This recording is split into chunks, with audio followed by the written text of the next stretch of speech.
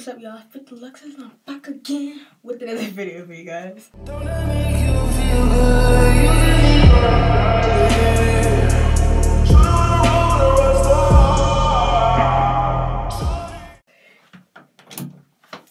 So this is a get ready with me. Welcome, welcome back to my channel, y'all. We're on the road to 100 subscribers, but hopefully the end of next, I mean this year.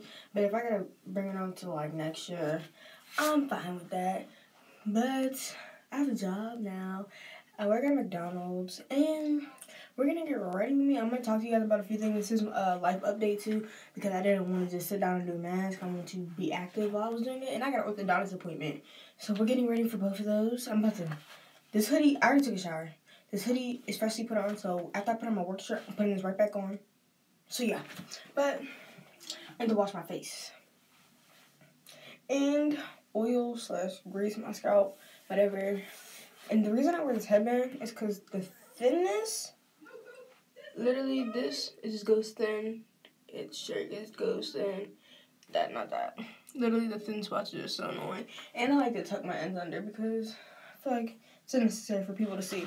But due to the fact of this video where I'm gonna have to oil my scalp, we're just gonna keep it out. Y'all, I have not been in the best place lately. My mental state of mind right now is not it. It's like, well, I don't know. I think I said it in one video. My dog died, as everyone would know. His name was Prince. He died tomorrow at 5 a.m. two weeks ago. Uh, today's Wednesday, the 30th? 30th. I really don't know. I, I truly don't care. He died on like the 17th. And like, I've already been in a terrible state of mind lately, but like, that just topped it all, to be honest.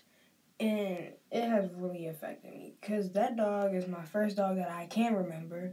Uh, I had another one named Boss, but I can't remember him whatsoever. I have a picture of him, but. And that man came into my life before the most traumatic thing has happened to me. And it's just like he's helped me through a lot. Even though it's a dog, he was my emotional support system. Try not to cry. he has literally helped me overcome some of my PTSD. And I love it. And it's like, even if my parents were getting on my nerves, guess who I went to? Guess who I went to? My dog. Me and, oops. Me and him would sleep together, but that was my sleeping buddy. We would sometimes be in the bed cuddling. sometimes he would like get sick and tired of me moving a lot, and he would just move to the end of the bed. And every time, oh, I forgot about the back of my head. And every time I start to talk about him, I get so upset, and I understand I'm grieving, but it's so annoying. They were like, okay, we had an assignment. Well, one, okay, we had these things called WRNs. And Mr. I mean, Mr. D, that's what I'm calling He keeps giving us these sad poems to read. It's English. And so they all remind me of my dog. And every time I'm writing my WRN, I start crying. And then we was talking in ethics class and um, it was like five top values, and my fifth one was my dog due to the fact that he's not alive no more, so he's my on the fifth, but he's still up there. And he was like, How do you give time to something that's not there? And I was like, Mental capacity. Well, he put that in. And I was like, I still think about him, so I give him my time. And then I was like, I can't even hold you. I'm starting to get upset right now when I started talking about it. It's just so, it's affected my mental health so much. I truly miss that dog. I, being without him has been hard. I'm trying not to cry. If you see a big jump cut, it's like, a jump cut where it's like you, you see my face start getting red, yeah, I'm crying.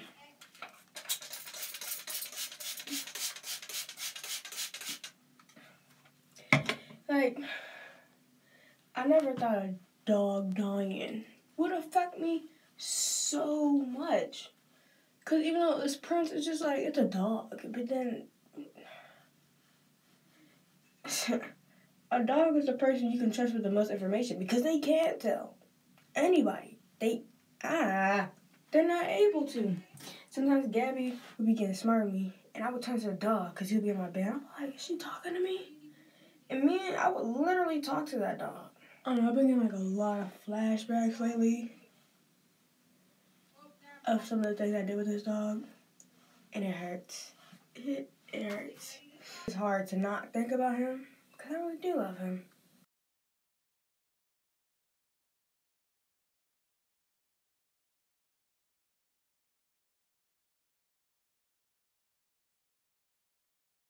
Off topic of the life update.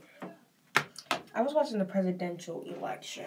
And when I tell you, it's like I personally am not going to put it myself in a category of Democratic, Republican, third party. I'm just not gonna do that. I feel like I'm setting myself up for failure for that. But this man, Donald Trump, is a little wild. He's shaming Biden for wearing a mask in a global pandemic. But he still wears me. He says I wear when I feel necessary. It's not necessary when you go out, sir. Sir, Come on now. I know you're lying. And he's so disrespectful. He would not let the moderator, I think his name is, well, not his name, but he wouldn't let the moderator talk. He keeps cutting Biden off. Biden just listens to him. He laughs, but he listens to him whenever he talks. And it's just like, why can't you do the same? You sound stupid, Orange, okay? You sound stupid. You just sound dumb. Everything that comes out of this man's mouth, I do not agree with whatsoever. And can someone educate me on Obamacare? Of course, I know it's like care for people, like medical, but like I need someone to educate me more because he keeps saying that he wants to. I'm gonna educate myself too, but uh, I want someone else to do it too.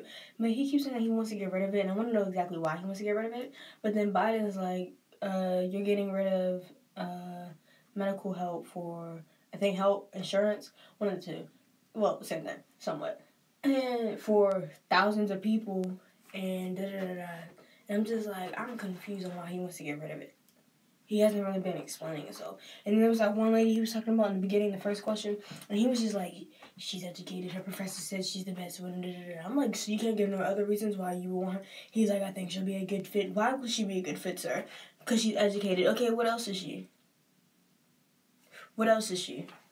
What is she educated on? What does she know? How can she help you? That's simple. That well, not for me. I don't know the person. I can't remember her name, but still, it's that simple. Back on mental health. I think I'm gonna go back to therapy. I don't know. This is just some fact that I keep thinking about this dog, but I don't know what my therapist specializes in. Like I know I went to the clinic for PTSD, depression. I meant to say in but like, I don't know if she just specializes in depression. I think she specializes in PTSD because we mainly talked about my traumatic events, events, and more so on that, like the quizzes I've had to take on that, and other than the fact that when I'm just talking about my day, but it's just like, so I think she specializes in PTSD, so I think I'll be good. But I still tell her about anything regardless. So I think I'm gonna put myself back in therapy for like a week or two. Well, that's only two sessions. Mm-hmm. I look at myself in the mirror, and I always have to tell myself, you are not your hair. I've made it clear to myself that even with my hair, even when it looks a hot mess, I still look good. I feel like people like to define themselves based upon their hair and how their hair looks, and they don't only think about their face. Literally, I'm only looking at my face now, and I think I look beautiful. You know, I hate my teeth right now because my one of my fillings got taken out, due to the fact that I bit on something and it came out. I ran into a wall fifth grade year and two things went flying. I have two triangles in my teeth that got fillings and one of them came out. That's the point. That's why you guys see that uh this chip. Yeah, that's what that is. And I've had to remind myself that that chip does not also define who I am. It does not make me ugly. I've gotten used to it over quarantine. I've had it since like May, June. And I was dating whatever his face is at the time, so I know it had to be May or April. No, I don't think it was before my birthday. So like, if you ever just see me looking at myself in the camera whenever I'm doing a video, it's just I'm just letting myself know internally that I am beautiful, even with these thin spots in my hair, even with these thin spots in my head that look ugly to me. It does not define who I am. My hair looking a hot mess does not define who I am. That's what a lot of people don't understand. That's why a lot of people don't understand why I go out looking like anything because I don't care. This, this, not not my boobs, not my shirts, my my style, my pants, my shoes do not define who I am.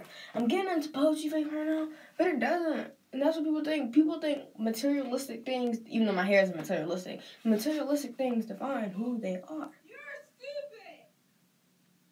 It's just know you're beautiful without the hair. Even though, even if your hair looks ugly to you or others, it doesn't define who you are. I have to remember because I look bad in this camera with this lighting. You guys see what I'm seeing now? Cause I trimmed the weight. I'm like, right here. The lighting's still different. The lighting looks better in the mirror. If I had my other lights, it would be better. But now I'm going to, do I want to grease my scalp too? I feel like that's too much blocking because I haven't oiled my scalp in a while. So what we're to do is we're going to do the log and then I'm to brush my teeth.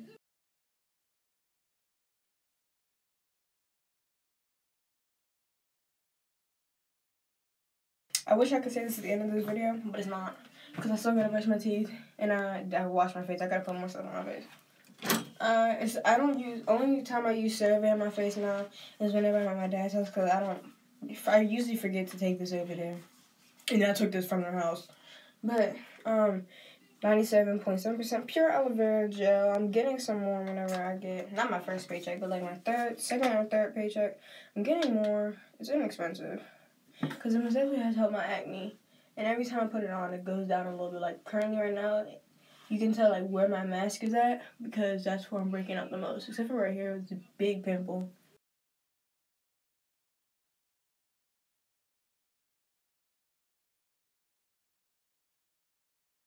And then also that spray bottle, the purple one where I spray my face with, it has a bit of aloe vera juice in it. I'm trying to make my second bottle. I haven't been using it that much because I'm trying to make my second bottle last till Christmas. So whenever I get Christmas money, uh, I got a job now, don't I? so I can order some new, some more two bottles because it definitely has helped my hair, um, and it has helped my face for sure. This video is gonna be all over the place because I'm talking to y'all. I was just gonna make a regular get ready with me where I'm not talking to you, but I'd rather me talk to you while I'm getting ready because I want to get some things off of my chest. So yeah, that's about it. Y'all, you know my work day. So I work on Sundays, uh, Mondays, Wednesdays, Saturdays, and on Sunday, imagine that's me working three days in a row: Saturday, Sunday, Monday. Sunday I work nine thirty to two. Mondays and Wednesdays I work five to seven. I mean four to seven. and on Saturday I work nine thirty to four. Yo, yo, that's a lot of time. Now I'm about to put you guys up so you guys see me brush my teeth. Oh my gosh, but we got a new dog. I'm gonna insert a picture. She kind of looks like Prince. It's weird, but she's bad, and she's annoying me a lot. Like we gotta potty train her. Like she's only what ten weeks old. I think eleven weeks now. We gotta potty train her. She's peeing in the house because she's not potty trained. Um, so much more. I can. Ugh.